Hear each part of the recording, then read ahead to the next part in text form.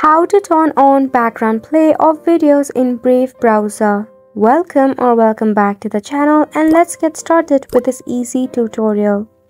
Starting off, you need to launch your Brave browser. Make sure that it is up to date. Then tap on the three dot icon at the bottom and head to the settings option. From here, scroll down until you see the option of media. The option will be present on the display. Select on media. There you will find background play. Now to enable it, all you have to do is toggle it on to the right hand side. Select on relaunch.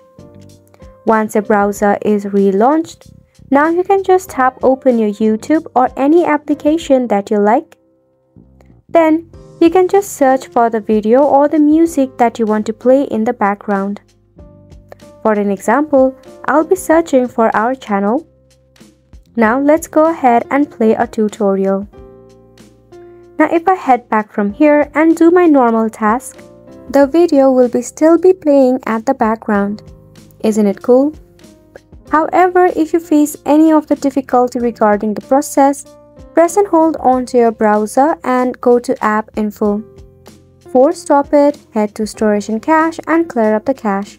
This is to fix any of the bug or the glitch issue that is causing the Brave browser to crash or glitch. And that's a wrap for the video as well. Thank you so much for tuning in.